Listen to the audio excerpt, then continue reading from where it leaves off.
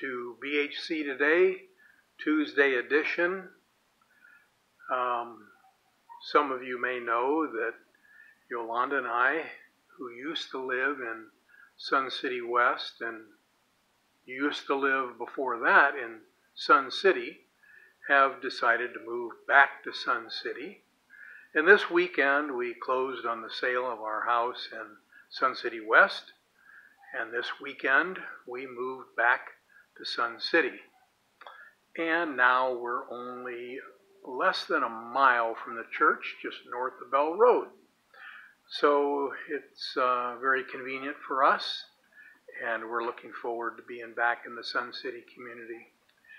You know, I was listening to uh, Pastor Jim's presentation this weekend, and as he was talking about uh, loving, loving thy neighbor as thyself.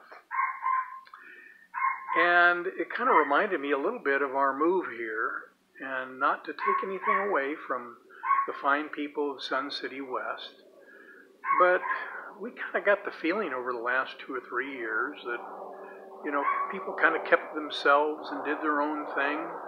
We were able to um, talk to a couple of our neighbors that were widows on either side of us, and uh, I befriended a Marine across the street, but that was pretty much it. And we tried to get involved in some of the local events and activities, and it just wasn't the same.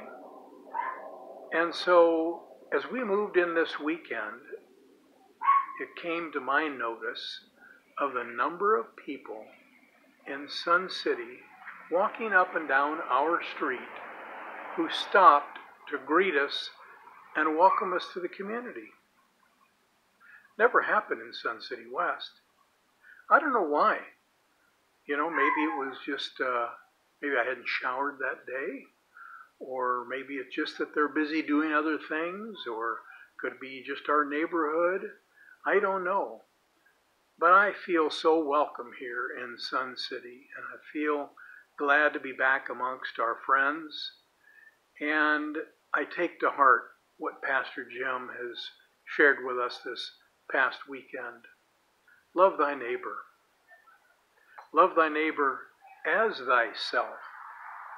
And so let's keep that in mind that, believe it or not, one little word here or there, or a greeting to a fellow neighbor, can make a world of difference. And it's your opportunity to share to them what great messages we receive at BHC what great family we have and friends, and encourage them to join us. Especially as we uh, enter into a new era with a new pastor. I know that Pastor Rob is very excited to join us and to be a part of our community.